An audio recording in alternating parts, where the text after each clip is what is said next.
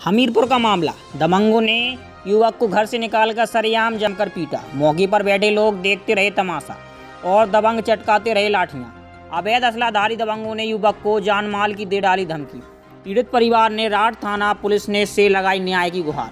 राठ कोतवाली पुलिस ने पीड़ित पर ही दर्ज कर दिया 307 और दफ़ा 225 का मुकदमा। हमीरपुर जनपद के राठ थाना क्षेत्र के औता गाँव का पूरा मामला है। हमीरपुर से सुनील प्रजापति की रिपोर्ट।